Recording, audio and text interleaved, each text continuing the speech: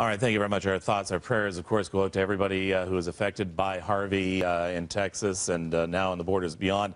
Uh, something very interesting, though, is that social media is seems to be what people are reaching out to when they can't find help elsewhere, and they're getting help. They're getting help, and one of the controversial tools that people are using uh, is the Snap Maps tool. We talked about it a few months ago when it first came out uh, because kids were posting Snapchats and identifying where they were. Their location. Their location, but this tool now being used by people uh, identifying themselves where they are on the map, and they're reaching out for help on this Snap Maps tool. So just one of the ways that this is actually being helpful. And there's also a picture that went uh, viral uh, Saturday into Sunday of uh, some uh, some people in Dickinson, uh, Texas, who are in an old age home. Take a close look at this picture that they tweeted out.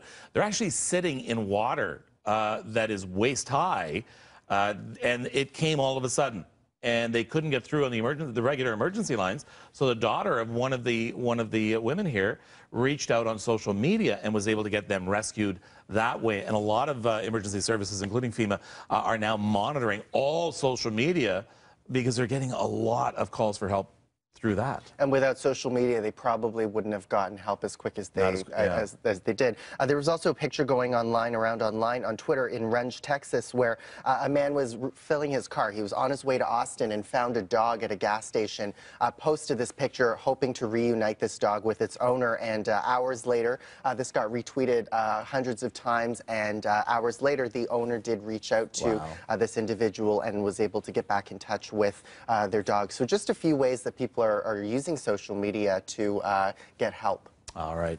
Thank you very much.